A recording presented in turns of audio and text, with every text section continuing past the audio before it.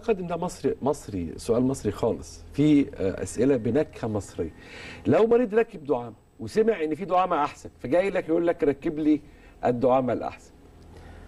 إذا كان التفاضل لمجرد إنها أحسن من وجهة نظره هو طبعا لا.